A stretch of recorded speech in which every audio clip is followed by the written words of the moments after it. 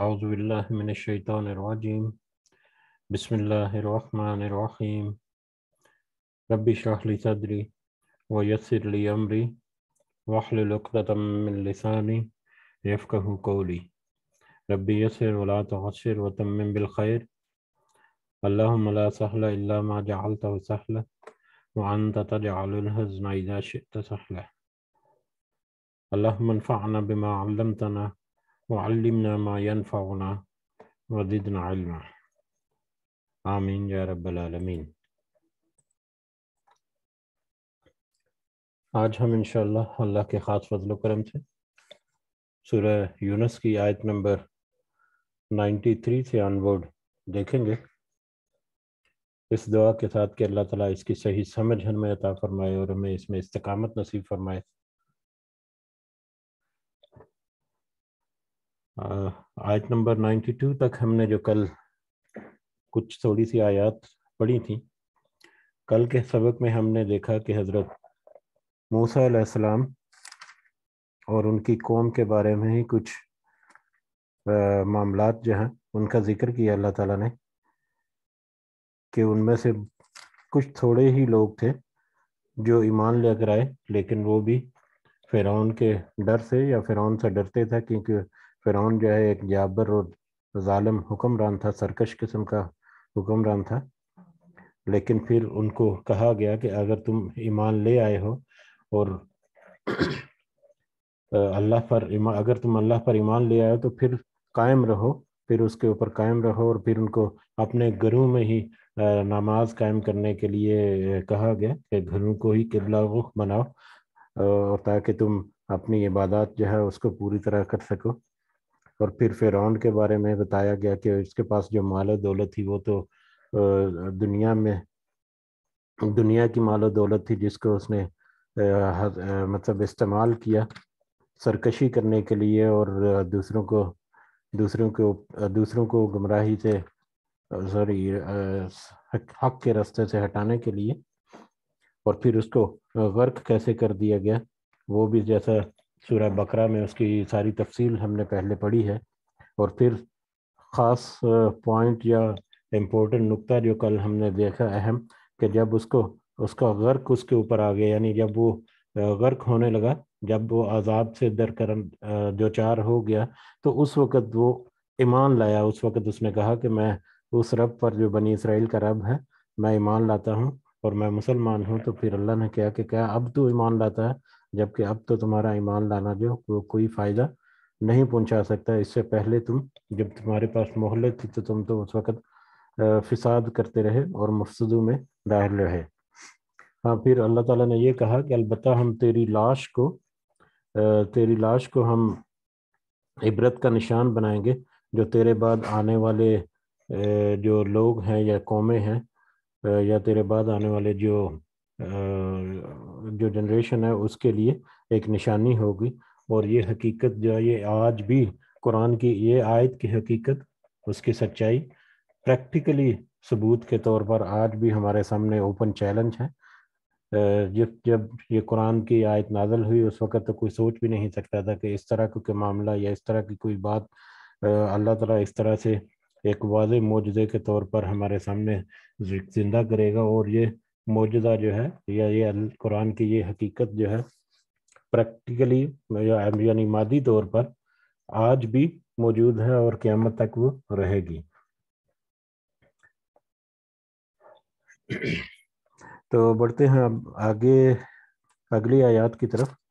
और आज हम देखते हैं कि, कि पाँच सात मिनट अगर ज़्यादा भी लग जाए शायद तो कोशिश करेंगे कि ये ये सूरा जो है, ये मुकम्मल हो जाए। फिर अगली सूरा हम अगले हफ़्ते से इंशाल्लाह शुरू करेंगे। आयात जो है, वो सादी सी हैं और बार बार रिपीट जो किया हुआ है, ये कंक्लूडिंग आयात मतलब होंगी इस सूरा की, जिसमें नबी करीम वसल्लम के साथ डायरेक्टली उनको ही खिताब किया गया है। लेकिन दर हकीकत नबी करीम वसल्लम से खिताब इनडायरेक्टली इनडायरेक्टली उस तरीके से इनडायरेक्टली लोगों के साथ उस वक़्त के खिताब है और हम, हमारे लिए भी वही पैगाम जो है उसी तरह से मतलब मिलता है। तो बढ़ते हैं नाइन्टी थ्री नंबर आयत की तरफ़। आउज़बिल्लाशैतानरजीम वालकत बवाना और बेच बिला शुबा यकीनन हमने ठिकाना दिया बनी इसराइला बनी इसराइल को। मुबवा सिद्किन उम्दा ठिकाना एक बेहतरीन ठिकाना। व रजक नाहम और हमने रिज्क दिया उन्हें मिनत ये बात ही पाकिज़ा चीज़ों में से। अब पिछली आयत में जो जो आ, मतलब कल जहाँ तक हमने सबक देखा था वो तो फ़िरौन से निजात जो है वहाँ तक था कि अल्लाह ताला ने एक मोजे के ज़रिए से समुंदर में रास्ता बनाकर कौम मूसा या बनी इसराइल जो है उनको एक सेफ़ रास्ता दिया समुंदर को या दरिया को पार करने के लिए और और फ़िरौन को उस समुंदर में या दरिया में वर्क कर दिया गया। तो अब उसके बाद फिर उस फ़िरौन से निजात पाने के बाद अल्लाह ताला कह रहे हैं कि बनी इसराइल को एक उम्दा ठिकाना और पाकिज़ा रिज्क दिया। और वो हमने सूरा बकरा में बड़ी तफसील से पढ़ा है कि उसके बाद वो एक बस्ती में ठहरे। वहाँ पर फिर बारह चश्मे जो हैं वो जारी किए हुए हज़रत मूसा के एक मुजज़े से अल्लाह ताला के हुक्म से। फिर बारह कबीले जो हैं, वो उन्होंने अपने अपना घर मालूम करके किया, यानी उन्होंने उनकी आबादकारी हुई।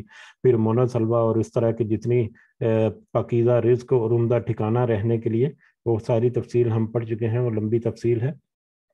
बहरल अशारतन के बनी इसराइल को फिर उसके बाद उमदा ठिकाना, बेहतरीन ठिकाना और बेहतरीन पाकीरा रिज्क जो है, वो दिया अल्लाह ताला ने। फमख तलाफू फिर ना इख्तलाफ किया, फिर नहीं इख्तलाफ किया उन सबने, यानी बनी इसराइल ने फिर नहीं इख्तलाफ किया हती यहाँ तक के जा अहमुल इल्म, आ गया उनके पास इल्म, फिर उन्होंने नहीं इख्तलाफ किया, यहाँ तक कि उनके पास इल्म आ गया इन रब्बा का यकजी, बेशक तेरा रब वो फैसला करेगा बैन हम के दरमियान यौमल क़्यामत क़्यामत के दिन फ़ी मकान फ़ी यख्तलिफून उस बात के बारे में या उसमें जिसमें वो इख्तलाफ करते थे।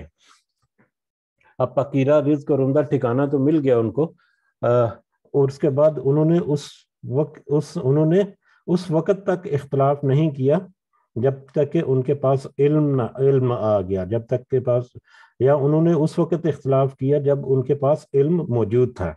यानी ये भी वही तरीका है कि जैसे बाकी रसूलों की कौमों का ज़िक्र हुआ कि जब आज़ाब से दरकनार हुई तो फिर रसूल अपने साथी जो है उनको लेकर अल्लाह ताला के हुक्म से उस जगह को या उस बस्ती को छोड़ गए और पीछे से वो बस्ती जो है उसके ऊपर फिर अजाब आया और फिर वो जो कौम वहाँ से निकली है अल्लाह ताला के हुक्म से, उसको फिर एक नई, नया ठिकाना मिला, उसको एक नई मंजिल मिली। फिर वो उस पर रवा दवा हुए। सारे के सारे सिद्क पर, सादे के साथ के हक पर और सारे के सारे जो है वो अल्लाह के ईमान लाकर पक्के और सच्चे मोमन रहे। लेकिन फिर वक्त के साथ साथ अब अल्लाह ने उनको तो रसूल के ज़रिए वो पैगाम जो है वो मिल गया। उनको हदायत रहनमाई किताबों की शक्ल में और रसूल और नबियों की शक्ल में वो तो उन तक पहुँच गई। लेकिन वक्त गुजरने के साथ साथ वो इल्म जो उनके पास मौजूद था वो तो था ही। लेकिन आ, उनके अपने अकायद या उनके अपना किरदार जो है उनका अपना रवैया जो है, वो फिर बिगड़ता चला गया और बाद में वो इख्तलाफ में पड़ गए। तो यहाँ पर यही है कि जब वो बनी, जब वो हज़रत मूसा की लीडरशिप में उनको सारा इल्म जो है मिल गया, अल्लाह ताला की तरफ़ से हक वाजे हो गया तो फिर उनके पास कुछ अर्सा गुजरने के बाद फिर वापस वही गुमराहियाँ और वही मामला जो हैं वो पनपना शुरू हो गए और आपस में इख्तलाफ करना शुरू कर दिए उन्होंने। तो ये यह यहाँ पर है कि उनके पास तो इल्म जो हज़रत मूसा के ज़रिए उनको मिला था, हक का वजाहत जो है वो मिल गई थी, उसके बावजूद उन्होंने बाद में इख्तलाफ किया।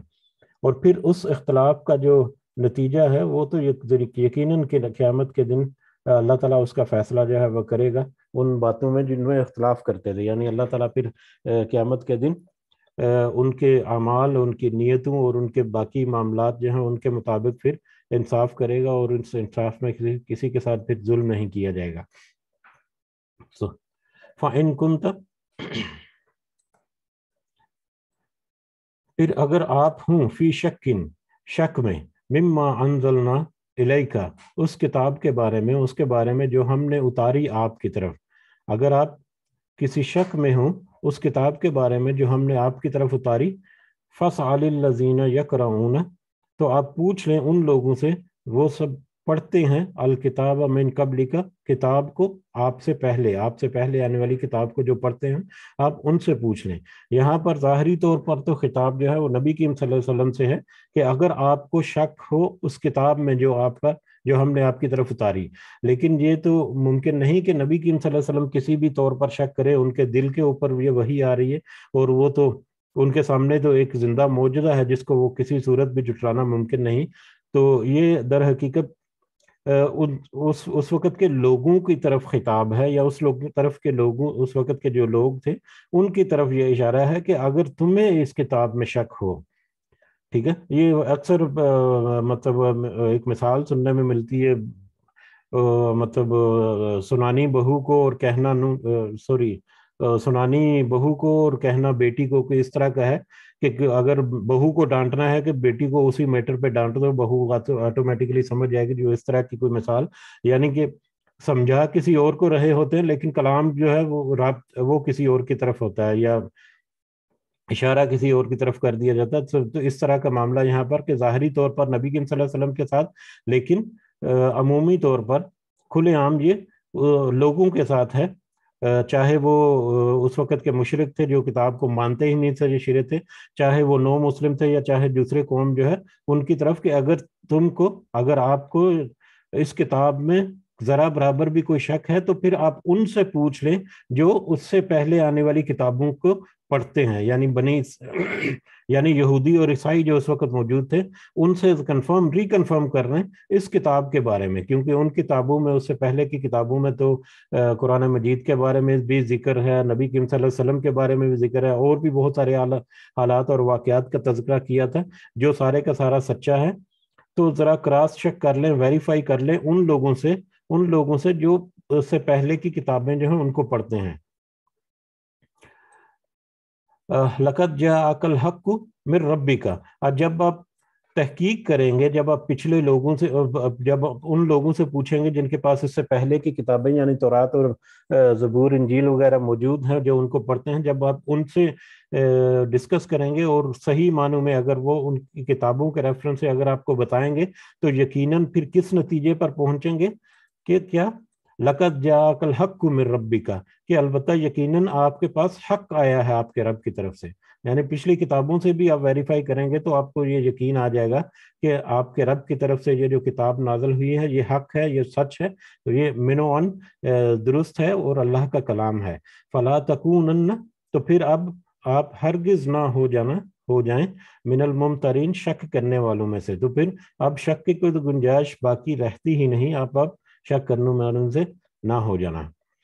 वला तकून मिनल्लजीन कज़बू ये नबी करीम वसल्लम के साथ ज़ाहरी तौर पर खिताब है और अमूमी तौर पर सब के खिताब है और कंक्लूडिंग आयात हैं, जिसमें अगर हम इसी सूरह मुबारक का पिछला जितना भी हमने पढ़ा उसको सब अपने बैकग्राउंड में रखे तो हमें पता चलता है कि बहुत सारी आयात अल्लाह ताला की तरफ़ से ए, मतलब कायनात की शक्ल में और दूसरी बड़ी निशानियाँ जो है पिछली कौमों की शक्ल में पिछली कौमों के साथ कैसा हुआ वो, उसकी शक्ल में यहाँ पर ज़िक्र हुआ। अभी रिसेंटली मूसा और नू का तस्करा भी हुआ पिछली आयात में। तो ये सारा कुछ अगर हम मतलब एनालाइज करें तो फिर यकीनन हम इस नतीजे पर पहुँचते हैं कि ये सारा कुछ जो है वो हक और सच है जो अभी नाजल हो रहा है और यकीनन इसमें शक की कोई गुंजाइश नहीं। वला तकून मिनजीन कज़बू और ना हरगिज आप उनमें से हो जाएँ जिन सबने जुटलाया भी आयात अल्लाह की आयतों को फतकून मिनल खासरिन, वरना आप खसारा पाने वालों में से हो जाएँगे। अब पिछली कौमों की तरह, जैसे पिछली कौमों ने जुटलाया उनको और उसके नतीजे में उनके ऊपर अजाब आया दुनिया में भी और आखिरत में यकीनन वो अजाब उनके ऊपर आएगा। आखिरत का अजाब जो है वो अभी बाकी है। तो जिस तरह से पिछले लोगों ने जिटलाया, जिस तरह से पिछली कौमों ने जिटलाया जिसका ज़िक्र गुजर चुका, उस तरह से आप भी फिर अल्लाह की आयतों को जुटाने वाले मत हो जाइएगा, वरना आप भी खसारा पाने वालों में से हो जाएँगे।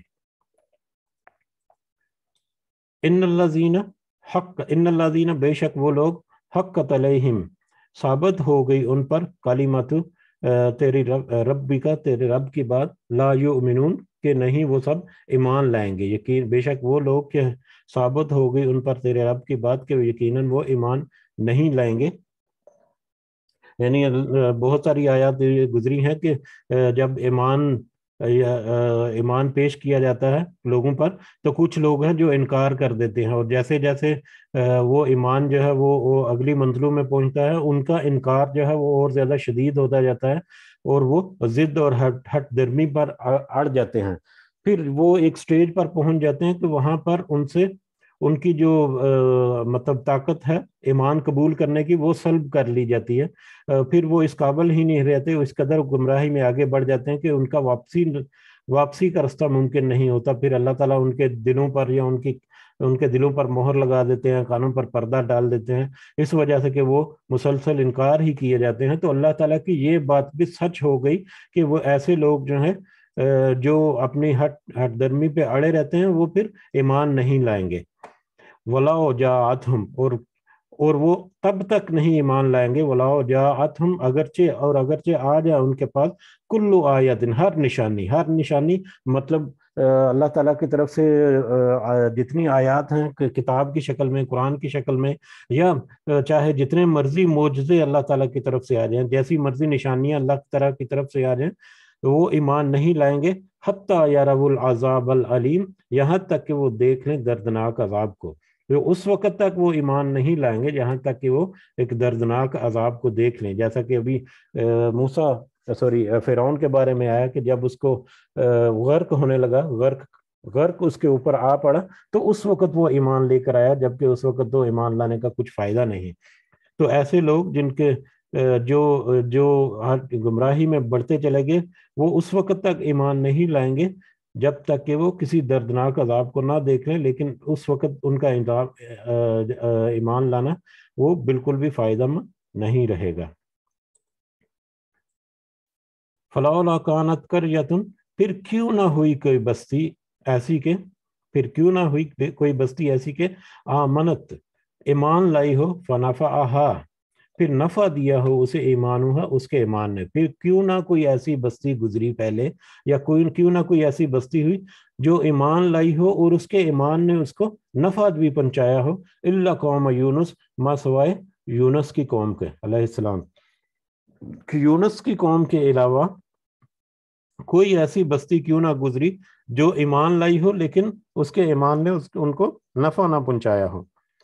अब दो जहाँ पर है, एक तो यह है कि जितनी कौमें तबाह व बर्बाद हुई अल्लाह ताला की सुन्नत रही है कि जब अजाब आता है तो अजाब तक उनको मोहलत होती है कि वो नबी पर और बाकी जो अल्लाह पर ईमान लेकर आए। लेकिन जैसे ही अजाब आ गया, अजाब के आसार नमूदार हो गए, उस वक्त तोबा की तोबा की कबूलियत या तोबा का दरवाज़ा बंद हो जाता है, उसके बाद ईमान लाना फ़ायदा मंद नहीं होता, उसका कोई फ़ायदा नहीं होता। माँ सवाए कौम यूनस के हज़रत को, यूनस अलैहिस्सलाम की कौम को एक इस्तना या उनके साथ एक एक्सक्लूसिव केस हुआ। ठीक है? वो केस क्या हुआ उसको थोड़ा सा देखते हैं अभी, लेकिन पहला हिस्सा ये वही है कि कोई कौम ऐसी नहीं गुजरी कि उनके ऊपर अजाब आया हो, अजाब आने के बाद उन्होंने ईमान कबूल किया और उनके ईमान ने उनको नफ़ा दिया हो अजाब आने के बाद के मासवाए कौम यूनस। अब कौम यूनस क्या था? यकीनन हम सबको पता है ये तो हज़रत यूनस अलैहिस्सलाम वो भी बाकी रसूलों और नबियों की तरह अपनी कौम के अपनी कौम के लिए उन्होंने भी बहुत जान मारी, बहुत सर खपाया कि किसी तरह से ये कौम जो है ये इसलाह पा जाए, ये किसी तरह से ये अल्लाह के दीन को कबूल करे और अपने आप की इसलाह कर ले। लेकिन हसब आदत कौम जो है, इंसान जो है, वो उसी तरह से हटदर्मी पर कायम रहा। यहाँ तक कि उनके ऊपर अजाब आने का वक्त हो गया। और जैसा कि पहले भी बाकी कौमों के ऊपर भी अजाब आया तो यकीनन जो नबी या रसूल उस वक्त मौजूद है, रसूल जो उस वक्त थे, उनको पहले से पता, बता दिया, अल्लाह ताला ने उनको इशारा कर दिया या बता दिया कि इस तरह से अब अजाब आने वाला है तो अजाब की तैयारी करो। जैसे हज़रत नू अलैहिस्सलाम का भी, कि उन्होंने कश्ती तैयार करनी शुरू कर दी, और फिर उस कश्ती के ज़रिए भी फिर लोगों को मतलब अंदाज़ा हो गया कि इस तरह से नू अलैहिस्सलाम कश्ती बना रहे हैं। हज़रत नू को तो पता चल गया। उनको तो अल्लाह ताला ने हुक्म दे दिया। अब उन्होंने तो तैयारी कर ली, लेकिन उनकी कौम जो है फिर उसी रास्ते पर चलती रही कि मतलब मज़ाक करते रहे और इस तरह के मामला। तो इस तरह से रसूल को तो पहले से इल्म हो जाता था। अल्लाह ताला उनको बता देते कि अजाब आने वाला है। इसी तरह से हज़रत यूनस को भी अल्लाह ताला ने बता दिया। कि अब अजाब आने, आ रहा है, हुज्जत कायम हो चुकी। अब ये लोग जो है, ये कौम जो है, ये ईमान नहीं लाने वाली तो अब इनके ऊपर अजाब आया ठहरा। तो हज़रत यूनस सलाम ने अल्लाह के हुक्म के बगैर ही, पहले रसूल जो है, वो भी अजाब आने से पहले वो अल्लाह के हुक्म से, जैसे ही अल्लाह का हुक्म मिला, वो वहाँ से हिजरत कर जाते थे। दूसरी जगह पर पहुँच जाते थे और पीछे बस्ती जो है, वो अजाब से दो चार हो जाती थी। लेकिन हज़रत यूनस सलाम ने अल्लाह के हुक्म के बगैर ही ये भी यकीनन अल्लाह ताला की कोई हिकमत है जो आज हमारे लिए भी एक मशल राह हो सकती है? कि अल्लाह ताला के हुक्म का इंतज़ार किए बगैर उन्होंने कौम को बता दिया कि तीन दिन के बाद तुम्हारे ऊपर ऐसा ऐसा आजाब आने वाला है और फिर उन्होंने उस बस्ती को छोड़ दिया? उसका नतीजा ये हुआ कि दो तीन दिन के बाद जब उन, उस कौम के ऊपर आजाब के आसार नमूदार हुए तो पूरी कौम जो है सारे लोग वो अपने बाल बच्चों फैमिली समेत औरतें मर्द बच्चे सारे के सारे, बल्कि अपना माल मवेशी जो है, वो भी सारा लेकर एक मैदान में, खुले मैदान में आ गए और वहाँ पर गिरा और आहुजारी जो है वो शुरू कर दी, अल्लाह के यहाँ तोबा पेश कर दी। और ये एक्सक्लूसिव केस था कि उनका रसूल जो है वो पहले से उनको बताकर इस बस्ती से चला गया, अल्लाह के हुक्म के बगैर।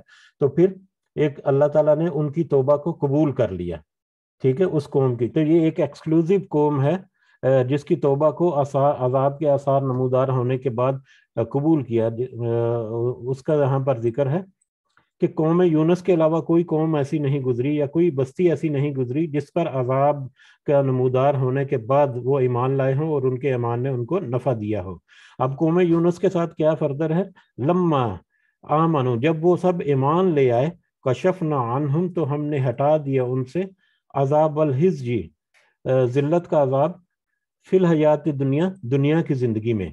उनके उनके ईमान लाने की सूरत में या उनके ईमान लाने पर हमने उनको, उनके ऊपर से दुनिया की जिल्लत का जो अजाब जिल्लत का जो अजाब है वो दुनियावी ज़िंदगी में, दुनियावी ज़िंदगी में उनसे अजाब जो हटा लिया। वह मता अनाहम इलाहीन और फ़ायदा दिया उन्हें एक मुकर्रा वक़्त तक। एक वक्त तक फिर वो अपने ईमान से नफा हासिल करते रहे। और यहाँ पर ये काबिल ज़िक्र बात यह है कि दुनियावी ज़िंदगी का जो अजाब है वो हटा दिया गया। अब इस अजाब के हटने के बाद वो किस कदर अपने ईमान पर कायम रहे, किस तरह से उनका अमल रहा, क्या वो किरदार अदा करते रहे अपनी मौत तक, उसके मुताबिक आखिरत में जो उनका अजाब या जो भी उनका मामला है वो अभी तक बाकी है। आखिरत का अजाब जो है या आखिरत का जो इंसाफ है वो टला नहीं। वो तो कायम ही रहा लेकिन दुनिया में जो उनके ऊपर अजाब आना था वो वो उनके ऊपर से हटा लिया गया। अब उनके ईमान ने किस तरह से उन, उन उनका ईमान उनको नफा पहुँचा सकता है वो उनके उस, उनकी आइंदा ज़िंदगी तक मुनहसर था।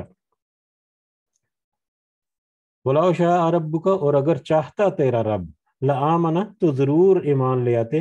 मन फिल अर्जी कुल्लुहम जो जो लोग भी हैं ज़मीन में। ज़मीन में मौजूद सारे के सारे लोग ज़मीन इकट्ठे एक ही दफ़ा, अगर अल्लाह ताला चाहता तो सारे सारे इकट्ठे एक ही दफ़ा में सारे ईमान ले आते। आफा अंता तुकरी हो तुकरी हो तो क्या आप मजबूर करेंगे अन्ना सा लोगों को? हती यकून मोमिन यहाँ तक कि वो ईमान ले आए या यहाँ तक कि वो मोमिन बन जाए। अगर अल्लाह ताला चाहता तो सबको इकट्ठे एक साथ ही ईमान की दौलत से माला माल कर देता। ये आयत जो है, ये बहुत वादे है और कभी कंफ्यूज भी करती है। ना सिर्फ़ नॉन मुस्लिमों को कभी कभी हम भी इसमें से कंफ्यूज हो जाते हैं, लेकिन ये बहुत वादे आयत है। अगर हम थोड़ा सा इसको बैकग्राउंड देखें तो हमें इसकी हकीकत नज़र आती है। अल्लाह ताला कह रहे हैं कि अगर वो चाहता तो सबको ईमान की दौलत से माला माल कर देता, सब ज़रूर ईमान ले आते, लेकिन अल्लाह ताला का चाहना क्या था?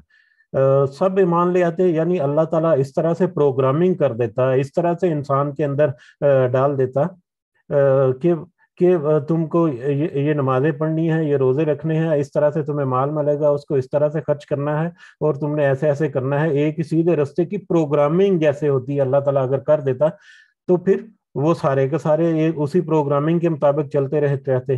लेकिन उस प्रोग्रामिंग का नतीजा क्या होना था? उस नतीजे में उस उस प्रोग्रामिंग अगर ऐसी हो जाती तो फिर ये हक का और बातल का बताना और ये फिर आजमाइश और फिर ईमान के तकाजे तो हीद और रसालत और मतलब आखरत का इंसाफ, ये वो वो सब सारी चीज़ें, सारा जो शरी इल्म है, वो सारा का सारा बेमानी हो जाता है। क्यों बेमानी हो जाता है? क्योंकि इंसान के इख्तियार में ही कुछ नहीं। इंसान तो वही कर रहा है जिसकी अल्लाह ताला ने उसको प्रोग्रामिंग कर दी, जिसको अल्लाह ताला ने उसको मतलब एक सेट प्रोग्रामिंग के तहत क्लॉक की तरह उसको चाबी भर दी, अब वो चलता जा रहा है, अब वो अपने रास्ते से नहीं हटेगा तो फिर तो बाकी मामला शरय मामला और फिर मतलब सजा और जजा जो है उसका निज़ाम जो है उसका तो फ़ायदा ही नहीं, फिर तो कुछ भी बाकी नहीं रहा, ठीक है? लेकिन अल्लाह की मंशा क्या है?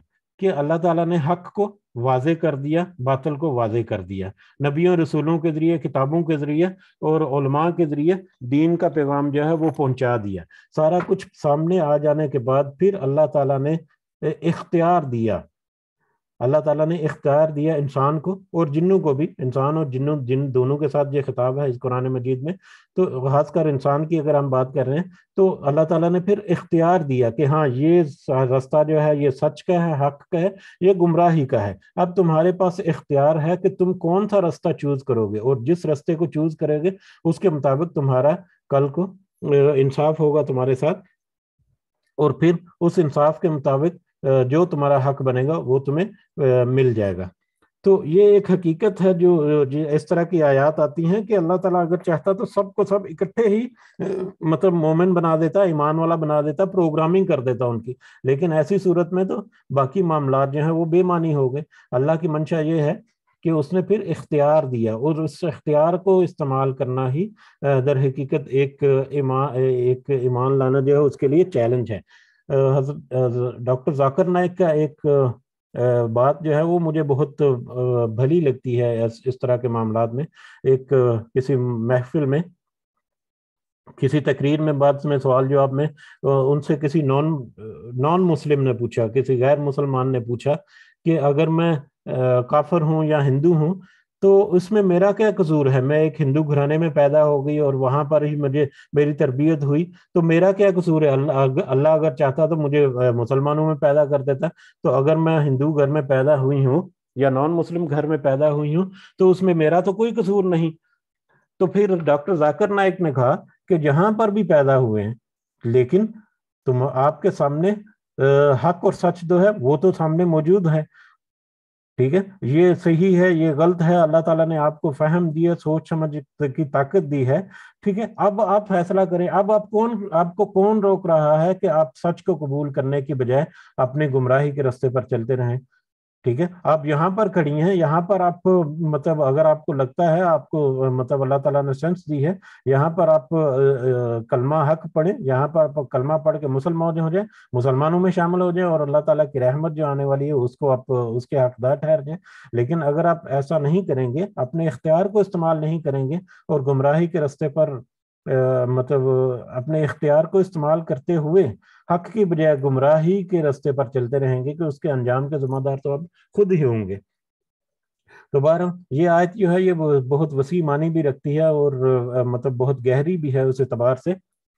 तो फिर आप किसी को मजबूर, क्या आप मजबूर करेंगे यहाँ तक कि वो सब ईमान ले आए? अगर अल्लाह के हाथ में है सारा कुछ तो फिर तो आप उनको मजबूर नहीं कर सकते कि यहाँ तक कि वो ईमान ले आए। आपकी ज़िम्मेदारी जो है, वो तो पैगाम पहुंचाना है, जो आपने पहुँचा दिया, उसके बाद उनका ईमान लाना और ईमान का नतीजा जो है, वो तो फिर अल्लाह तला के ज़िम्मे है। ममा का आना नफ्सिन और नहीं है मुमकिन किसी नफ्स के लिए अन तो मिना बेज़न कि वो ईमान लाए मगर अल्लाह के हुक्म से। वजद वजद अलरिज और वो डालता है कुफर नजासत, कुफर ज़िल्लत की नजासत। अल्लाजीन अकिलून उन लोगों पर जो वो अकल नहीं रखते। और ये तो ये किसी के लिए मुमकिन नहीं कि अल्लाह के हुक्म के बगैर वो ईमान लाए जैसा कि ऊपर इख्तियार का ज़िक्र, किया गया।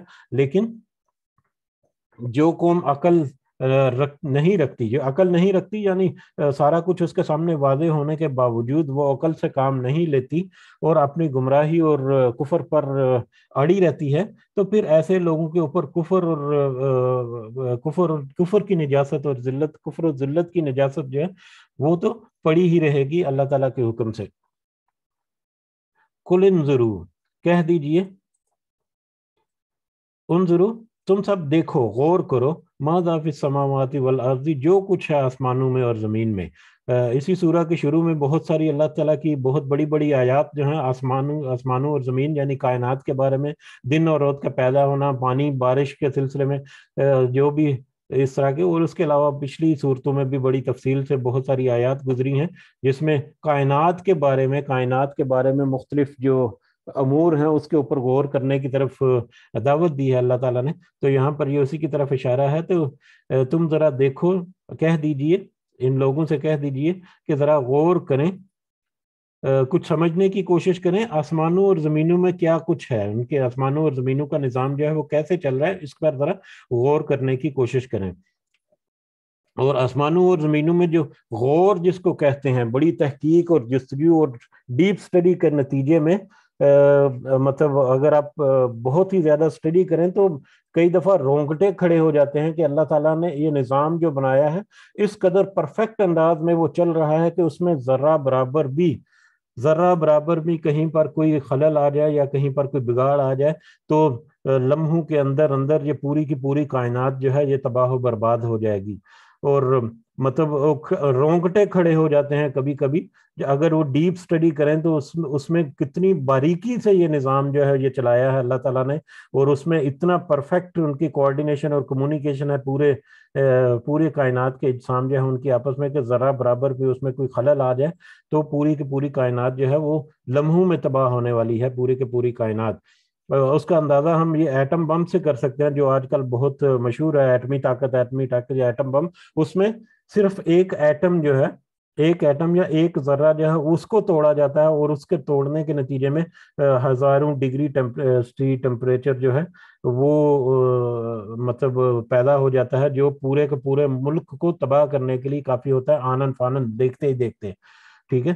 तो पूरी कायनात में जिस तरह से निज़ाम अल्लाह ताला ने चलाया हुआ है वो अल्लाह ताला की ही कुदरत है। तो तरह इन आसमा, इन इन आसमानों और ज़मीन की तरफ़ देखो कि किस तरह से ये सारा कुछ चलाया है अल्लाह ताला ने। इनके ऊपर गौर करो। वमा तुगनी, वमा तुगनिल आयात और नहीं फ़ायदा देती निशानियाँ। वन वन नजरू और डरावे ये निशानियाँ अल्लाह ताला की बड़ी बड़ी निशानियाँ और डरावे फ़ायदा नहीं पहुंचाती। अनिल कौमिन अनिल कौमिन लायुमिन उस कौम को जो ईमान नहीं लाते। हाँ अलबत् जो अपने हट पर, जुल्म पर, गुमराही पर अड़े हुए लोग हैं। उनके लिए तो फिर ये बड़ी बड़ी निशानियाँ और डराना और उनको मतलब खुशखबरियाँ सुनाना उसका कुछ फ़ायदा नहीं होगा, क्योंकि वो उनके उनके कानों पर और उनके दिलों पर पर्दे पड़ चुके। फहल जन तजीरून तो नहीं वो सब इंतज़ार कर रहे। इल्ला मिसला अयामीन उन लोगों की मिसल जिन जिन जिनका खलाओ जो पहले गुजर चुके मिन कबलिहिम, उससे पहले। नहीं, वो सब इंतज़ार कर रहे, मगर उन उन लोगों के दिनों का, बुरे दिनों का, जो पहले गुजर चुके। यानी पिछली कौम, जैसे पिछली कौमों के ऊपर अजाब आया कि वो दुनिया की ज़िंदगी में जब तक उनको मोहलत मिली, वो अपनी हट हट दर्मी पर कायम रहे। लेकिन जब अजाब आया तो उन्होंने इस दावत हक को कबूल कर लिया, जब जो उसके लिए नफा बख्शना हुई। उन लोगों की तरह ये लोग भी अब इंतज़ार कर रहे हैं। ठीक है? कुल कह दीजिए, फन ताजिर तो तुम सब इंतज़ार करो। इन्नी माकुम मिनल मुंतजिन मैं भी तुम्हारे साथ हूँ इंतज़ार करने वालों में से। आप वसल्लम से कह जाए कि उनसे कह दीजिए कि मेरा काम जो है वो तो मुकम्मल हुआ। तो अब अगर तुम इंतज़ार करना चाहते हो पिछली कौमों की तरह, जिस तरह पिछली कौमों के साथ मामले हुए, क्या अगर तुम चाहते हो कि तुम भी उस तरह से मामला तुम्हारे साथ भी हो तो ठीक है, तुम भी इंतज़ार करो और मैं भी इंतज़ार करने वालों में से हूँ। और वक्त जब आएगा तो वो साबित करेगा कि हक क्या था और बातल क्या था। सुम्मा फिर नुनत जी रसुलना, हमने निजात दी अपने रसूलों को। वल्ला जीना आमनो, और उन लोगों को जैसा बेमान लाए कदाली का इसी तरह। पिछली कौमों की तरह जैसा ज़िक्र हुआ कि जब अजाब आ गया तो अजाब आने के बाद अल्लाह ताला के रसूल जो हैं, वो और उनका जो ईमान लाए थे, उनको अल्लाह ताला ने निजात दी। हक का ना नुन जिल मोमिन ये हमारे ऊपर हक है कि हम मोमिनों को निजात दें। यानी जो ईमान लेकर आए, उनको फिर अल्लाह ताला के हुक्म से वो हिजरत करके अजाब आने से पहले ये अल्लाह ताला का हक है कि उनको निजात दे या उनको उस अजाब से बचा लें।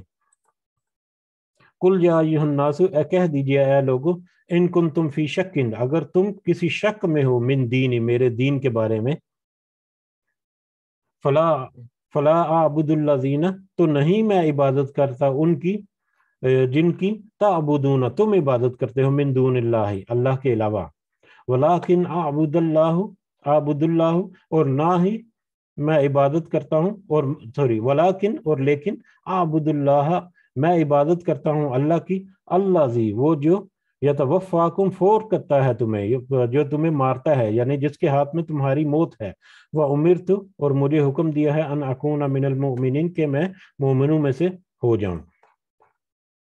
अगर ए लोगों, अगर तुम्हें शक है मेरे दीन के बारे में तो तुम याद रखो या तुम सो जान रखो, तुम्हारे ऊपर वादे किए देता हूँ कि मैं उसकी इबादत नहीं करता, जिसकी तुम अल्लाह के सिवा इबादत करते हो। ये वही मामला कि नबी करीम वसल्लम के ऊपर बहुत प्रेशर डालते थे उस वक्त के जो मुशरक थे।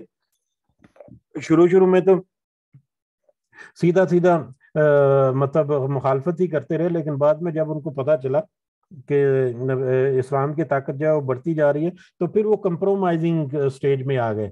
फिर वो निगोसिएशन स्टेज में आ गए। उनके साथ ये कहते हुए कि ठीक है थोड़ा सा फ्लेक्सिबल हो जाए आप हमारे आ, हमारे खुदाओं की, आप इबादत करें, हम आपके खुदा की इबादत करेंगे और इस तरह से दरमियाना रास्ता सूर्य काफिर उनके बैकग्राउंड में ये काफ़ी तफसील मौजूद है कि किस तरह से वो ऑफ़र करते थे कि एक साल आप हमारे लिए हमारे खुदाओं की पूजा करें, एक साल हम आपके खुदा की पूजा करेंगे या इस तरह के मुतफरक मामला जो हैं तो इस तरह की ऑफर्स को जुटला दिया। बहुत सारे और मौकों पर भी और यहाँ पर भी वही वादे कर दिया उनके ऊपर कि जो जो तुम कंप्रोमाइजिंग पॉलिसी जो अपनाना चाह रहे तो सुन रखो, तुम्हारे ऊपर वादे किए देते हैं कि मैं तो उसकी इबादत नहीं करता, उनकी इबादत नहीं करता जिनकी तुम अल्लाह के अलावा इबादत करते हो। लेकिन मैं तो उस अल्लाह की इबादत करता हूँ जिसके हाथ में तुम्हारी मौत है जो जिनके हाथ में जो तुम्हें मारता है या जिसके हाथ में तुम्हारी मौत है। और मुझे तो ये हुक्म दिया गया है कि मैं मोमनों में से हो जाऊँ। मुझे तो ये सब हुक्म दिया कि सबसे पहले मैं अपने ईमान को पेश करूँ। वन अकिम वजह का और ये के, और मुझे ये भी हुक्म दिया है कि, और ये के अकिम वजह का सीधा रख अपना चेहरा। लिल्लादीना हनीफा, लिद्दीनी हनीफा। दीन के लिए यकसू होकर, ये जो आपको दीन अता किया है जो मतलब आयात मिली हैं, इनके मुताबिक अपना चेहरा सीधा यकसू होकर, यानी ये जो इधर उधर की बातें आपको करते हैं कि कभी आप हमारे खुदाओं की इबादत करें, कभी हम और मुख्तलिफ़ दीन के लोग आते हैं और मुख्तलिफ़ तरह के जो आपको ऑफर्स की जाती हैं तो आप अपने अपने चेहरे को सीधा यकसू रखते हुए, फोकस करते हुए अपने दीन के ऊपर चलते रहें। किसी इधर उधर की तरफ़ नहीं देखना सीधा फोकस करना है अपने दिन के ऊपर। वला तकून मिनल मुशरकिन और हर आप हर गिज उनमें से ना हो जाना जो जो मुशरक हैं या जिन्होंने शिरक किया। वला तद मिन दून और मत पुकारो तुम अल्लाह के अलावा किसी और को। माँ उसको जो ला यनफा का वला यजर्रू का जो ना ही नफा दे सके आपको और ना ही नुकसान। अल्लाह के अलावा किसी और को मत पहुँचा दो आ, मत पुकारो। जो तुम्हें ना ही नफा पहुँचा सकता है और ना ही नुकसान पहुँचा सकता है। यकीनन नफा और नुकसान तो सिर्फ़ और सिर्फ़ अल्लाह ही के हाथ में है, उसके अलावा कोई, किसी की कोई हैसियत नहीं। तो इसलिए किसी दूसरे अल्लाह के अलावा किसी और को मत पुकारो जिसके हाथ में कोई नफा नहीं या कोई नुकसान नहीं। फ़ाइन फ़ालता फिर अगर आपने ऐसा किया फ़ाइन न का इज़म मिन तो बेशक आप ालमों में से हो जाएँगे। वाइन जमसस का और अगर पहुँचाए आपको अल्लाह अल्लाह बिजुर कोई तकलीफ़, अगर कोई अल्लाह ताला आपको कोई तकलीफ़ पहुँचाए, या अल्लाह ताला की तरफ़ से कोई आजमाइश आपके ऊपर आ जाए, कोई सख्त वक्त आपके ऊपर आ जाए, फला काश फलाहू हुआ तो कोई नहीं दूर करने वाला उसको, मगर वही। अल्लाह की तरफ़ से अगर कोई आजमाइश आ जाए या कोई तकलीफ़ आ जाए तो उसके अलावा उसको दूर करने वाला कोई नहीं। वह इन युद्ध युद्ध का बेखैर और अगर अल्लाह इरादा करे आपके साथ भलाई का, अगर आपको कोई नफ़ा पहुंचाना चाहे, अगर अल्लाह ताला आपके साथ कोई कामयाबी पहुँचाने का कोई इरादा करे, भलाई का कोई इरादा करे फला रद्द तो कोई नहीं रद्द करने वाला लिफाजली ही उसके फजल को, अल्लाह के फजल को फिर कोई रद्द करने वाला नहीं। यानी अल्लाह ताला की तरफ़ से अगर आजमाइश मकसूद व मतलूब है तो कोई उस आजमाइश को, कोई उस तकलीफ़ को दूर नहीं कर सकता अल्लाह के अलावा। और अगर अल्लाह ताला नफ़ा करने पर आ जाए, नफ़ा करने का इरादा कर दे तो उस नफ़े को कोई छीन नहीं सकता अल्लाह ताला के अलावा। युसीबू भी वो पहुंचाता है उसको, यानी इस फजल को मन यशाऊ जिसे वो चाहता है, मिन इबादी, अपने बंदू में से, वह वल गफूर रहीम और वो बख्शने वाला और नहायत रहम करने वाला है। वो अपने बंदू में से जिसको चाहता है, अपने फजल से नवाजता है और वो जो अपनी तोबा करते हैं, जो अल्लाह ताला से बख्शिश तलब करते हैं तो अल्लाह ताला फिर उनको बख्शने वाला भी है और उनके ऊपर रहम करने वाला भी है। कुल या नासु कह दीजिए आया लोगो, कद जा आकुम यकीनन, आ गया है तुम्हारे पास अलहक को। हक, यानी कुरान की शक्ल में ये जो सारा कुछ तेरे आपके पास आया, ये हक आ गया है मेरे रबिकुम तुम्हारे रब की तरफ़ से। फमन तदा तो जिसने हदायत, जिसने अपनाया इस हदायत को फ़ाइन नमा यह तदी तो यकीनन वो हदायत को अपनाता है लिनफ्स ही अपने ही नफ्स के लिए। लोगों से कह दीजिए कि ए लोगों, ये हक जो है वो तुम्हारे पास आ गया या ये कुरान तुम्हारे पास आ गया तुम्हारे रब की तरफ़ से। अब इसको जो अपनाता है, अब इस कुरान की हदायत को जो अपनाता है तो दर हकीकत वो अपने नफ्स के लिए या अपने फ़ायदे के लिए उसको अपनाता है या उस हदायत का फ़ायदा तो उसके नफ्स को होने वाला है। वो मंजल्ला फ़ाइनमा और लेकिन जो गुमराही इख्तियार करता है। फ़ाइनमा तो यकीनन यजिल्लु यजिल्लु अलैहा तो उसकी गुमराही तो उसके नफ्स के खिलाफ है। यानी अगर कोई हक को कबूल करके हदायत को, हदायत के पकड़ता है तो उसका फ़ायदा उसके नफ्स को होगा। लेकिन हक के सामने होते हुए भी अगर कोई गुमराही इख्तियार करता है तो यकीनन वो गुमराही जो है वो उसी के नफ्स पर है। वो माँ आना अलैकुम भी वकील और नहीं हूँ मैं तुम्हारे ऊपर निगरान। मैं मैं अब तुम्हारे ऊपर कोई जिम्मेदार नहीं, ये मेरी ज़िम्मेदारी नहीं कि आप अब तुम उस हक को कैसे इस्तेमाल करते हो? हक को कबूल करते हो या हक की मुखालफत करते हो? मेरी ज़िम्मेदारी क्या थी? मेरी ज़िम्मेदारी थी कि मैं अल्लाह का पैगाम तुम तक पहुँचा दूँ और अल्लाह ताला के हुक्म के मुताबिक मैंने वो पहुँच, पैगाम पहुँचा दिया नबी के वसल्लम के बारे में कि मैंने वो पैगाम पहुँचा दिया। अब मैं तुम्हारे ऊपर निगरान नहीं हूँ। अब अगर तुम हदायत कबूल करोगे तो उसका फ़ायदा तुम अपने नफ्स के लिए करोगे और अगर गुमराही इख्तियार करोगे तो यकीन उस गुमराही का नुकसान भी तुम्हारे नफ्स को होगा, तुम्हारी ज़ात को होगा। वो तभी मायूहा और आप पैरवी करें, उसकी जो वही की जाती है इलाई का आपकी तरफ़। आपकी तरफ़ जो वही की जाती है, जो कुरान की शक्ल में उसकी उसकी आप पैरवी करें, वसबिर और आप सब्र करें, हत्ता यहाँ तक के यहकुम अल्लाह हुक्म दे अल्लाह, या फैसला कर दे अल्लाह ताला वह हुआ खैरुल हाकिमिन, और वो बेहतरीन फैसला करने वालों में, और वो बेहतरीन फैसला करने वालों में है। जो आपको वही की जा रही है, उसी वही के मुताबिक आप अपने कार जो है वो अंजाम देते रहें, उसी की पैरवी करते रहें और उस पैरवी के करते हुए आपके ऊपर जो जो आजमाइशें और तकलीफें आती हैं, इस पर आप सब्र करते रहें। और नबी करीम वसल्लम के ऊपर सबसे बड़ी जो तकलीफ़ दे बात उनके लिए ये थी, उनकी ये शदीद ख्वाहिश थी कि सारे के सारी जो कौम है वो वो ईमान ले आए, मुसलमान हो जाए। और ये बात नबी करीम वसल्लम के दिल के ऊपर बहुत गिराव गुजरती थी कि क्यों मेरी कौम जो है वो इस्लाम नहीं कबूल कर रही या मोमिन नहीं हो रही, जबकि मेरी सारी ज़िंदगी उनके सामने है तो उस नबी करीम वसल्लम की दिलजोई करने के लिए या उनको दिलासा देने के लिए बहुत सारी आयात इस तरह की आई हैं, जिसमें नबी करीम वसल्लम को कहा गया है कि आपके, आप तो उनके ऊपर जिम्मेदार नहीं है, आपकी ज़िम्मेदारी जो है वो तो पैगाम पहुँचा देना है जो आपने पूरी कर दी, अब आप सब्र करें और जो वही आती है, उसके मुताबिक आप उसकी पैरवी करते रहें। यहाँ तक कि अल्लाह ताला फैसला कर दे, यहाँ तक कि अल्लाह ताला फैसला कर दे। फैसला, अल्लाह ताला का फैसला है, क्या है कि इस दुनिया में जो भी मामला जिसको जितना फ़ायदा देना है, वो दे दे, और उसके बाद फिर उसके इंसाफ इंसाफ कैसा होगा, उस वक़्त तक वो सारा कुछ तो फिर अल्लाह ताला के हाथ में है। वह हुआ है खैरुल हाकिमिन, और वो बेहतरीन फैसला है फैसला करने वालों में से। अल्लाह ही है जो बेहतरीन इंसाफ के साथ हर चीज़ का फैसला करने वाला है। वमा अलैना जी, अल्हम्दुलिल्लाह, दस मिनट ज़्यादा लगे, लेकिन आज हमारी सूरह मुबारक जो है, वो भी मुकम्मल हो गई। अल्लाह ताला से दुआ है कि इसमें हमने जो पढ़ा और जो समझने की कोशिश की, उसका सही समझ और सही फ़ायदा हमें पहुँचाए। अगर हमारे सुनने में, कहने में, समझने में कोई कमी रह गई तो अल्लाह ताला से हम अपनी माफ़ी के दर माफ़ी और तोबा जो है, वो अपनी पेश करते हैं और यकीनन अल्लाह ताला हमें माफ़ करेगा।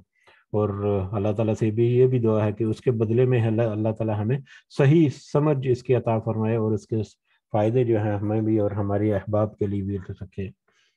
आमीन या रब्बुल आलमीन। जी, अगर किसी के पास कोई पॉइंट है या कुछ ऐड करना चाह रहे हैं तो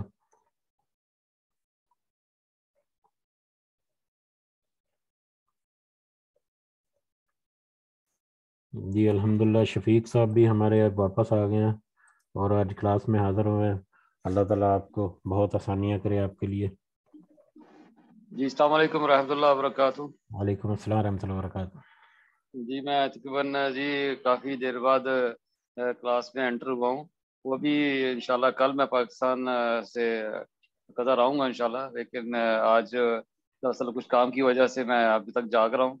तो अच्छा, अच्छा। माशाल्लाह यहाँ पे पाकिस्तान में जी सुबह फजर जो है चार बीस पे होती है हम्म, हम्म। और पौने पौने चार बजे अजान होती है तो थोड़ा बहुत टफ हो जाता है यानी के क्लास में आने के लिए क्योंकि हम हम लोग जब जा यहाँ पे जागते हैं तो कतर में तकरीबन दो बजे होते हैं दो डेढ़ बज रहा होता है तो यानी कि बहुत टफ हो जाता है काम पर इंशाल्लाह जमेरात को नहीं इंशाल्लाह हफ़्ते वाले दिन इतवार वाले दिन इंशाल्लाह जो क्लास होगी उसमें इंशाल्लाह रेगुलर होगा बिजल्ला इंशाल्लाह। तो मेरी तरफ़ से सबको ईद मुबारक और मैं ईद की छुट्टियाँ भी थी तो यूँ करके। बहरहाल अलहमदिल्ला अल्लाह ताला हमें तो सब तोफीक दे कुरान पढ़ने समझने और आप इस क्लास में इस, इस क्लास को यानी कि इस्तकामत की जजाकल्ला खैर। और, आपकी जो बात है उसमें मैं मजीद कुछ इजाफा कर दूँ कि आपकी ये कंडीशन ये कैफियत पाकिस्तान इसलिए है कि आप यहाँ से पाकिस्तान गए हुए आपने कुछ ख़ास कामों को अंजाम देने के लिए। जो पाकिस्तान में रहते हैं उनके लिए ये उधर नहीं है। यकीनन उनके अपने जो औकात हैं उसके मुताबिक जब भी जो सहूलत है तो वो इसमें आते हैं। तो हमारे लिए ये इशू होता है कि हम अगर जाते हैं पाकिस्तान तो डेफिनेटली एक शॉर्ट टाइम होता है उसमें बहुत सारे काम करने होते हैं तो जी जी। ठीक है इसी के साथ मजलिस को बर्खास्त करते हैं। अल्लाह ताला से दुआ है कि हमारी सारी जायज़ और नेक हाजात जो हैं अल्लाह ताला पूरी करे। हमारे ऊपर जो आजमाइशें और कोई तंगियाँ हैं तो अल्लाह ताला उनको दूर करे और उसका नफ़ा हमारे लिए पहुँचाए। अल्लाह ताला अपने वालदेन के लिए ज़रूर दुआ किया करें। अल्लाह ताला हमें अपने वालदेन के लिए सदका जारिया बनाए और हमारी वालदेन को अल्लाह ताला हमारे लिए सदका जारिया बनाए वमा अलैनाबीन रब्बना तकब्बल मिन्ना इन्नका अंत समीउल अलीम व तुब अलैना इन्नका अंत तव्वाबुर रहीम सुबहान रब्बिका रब्बिल इज्जति अम्मा यासिफून व सलामुन अलल मुरसलीन वल्हम्दुलिल्लाहि रब्बिल आलमीन सुबहानक अल्लाहुम्मा व बिहम्दिका अशहदु अन ला इलाहा इल्ला अंता अस्तगफिरुका व अतूबु इलैक जज़ाकुमुल्लाहु खैरन अस्सलाम वालेकुम व रहमतुल्लाहि व बरकातुहू वालेकुम अस्सलाम व रहमतुल्लाहि व बरकातुहू